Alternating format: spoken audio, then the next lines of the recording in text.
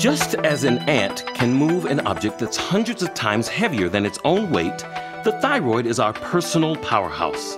This small gland located at the base of the neck influences the organs in our bodies. Its primary function is to control the metabolism. An overactive or underactive thyroid can wreak havoc on more than just our weight.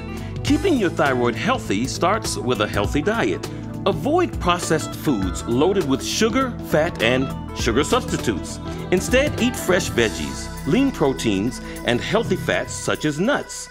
These changes will improve your overall health and keep your thyroid healthy.